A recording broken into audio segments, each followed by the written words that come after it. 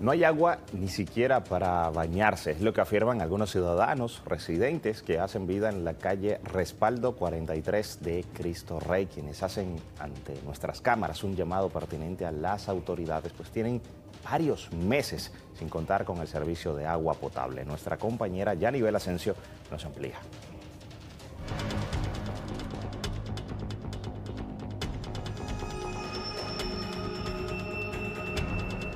Yo compro un galón para yo bañarme.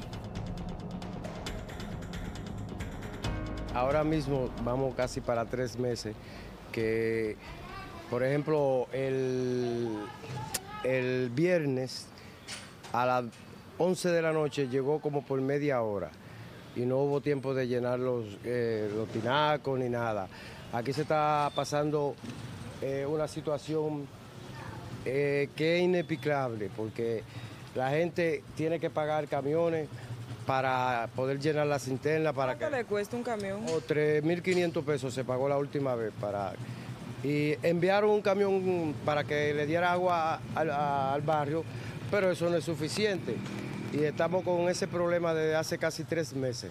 ¿Ustedes han ido a la casa y qué le dicen allá? Eh, ellos vinieron porque habían dicho que unos problemas de, de tubos rotos, pero eh, no han hecho nada hasta ahora. Hemos tenido que comprar eh, camiones de agua a 2.500 pesos y los grandes a 3.000 y así sucesivamente. Queremos ver cómo la CA nos puede solucionar ese problema. Hemos tenido que salir a hacer huelga con, con cubeta, con olla para arriba, porque estamos sin agua. Fíjate, eh, yo cuido niños y es lamentable, tengo que estar comprando botellones. Lo económico son a 25. Con esta agua, este calor que está haciendo, es difícil para nosotros. Mire a ver cómo nos pueden resolver porque no aguantamos más la situación. O nos vamos a volver otra vez a tirarla a la calle, a hacer muluto sin querer, a hacer desorden.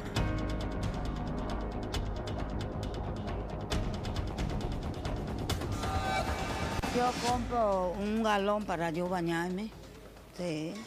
¿Y cuántos días le dura ese galón? No, yo lo parto para dos veces porque no lo puedo coger entero para yo bañarme. ¿Cómo hacen los oficios? ¿Cuando con fregue- eh, dejarlo ahí sin fregar y hasta que llegue el agua. No llega agua, nada más llega un chinchín. Yo soy una persona no vidente, y tú sabes, entonces tengo tres, tres nietos en la escuela, tres adolescentes. En mi casa, hoy lo, hoy lo mandamos para la escuela sin bañarse, porque que yo tengo un liceo y no pueden faltar.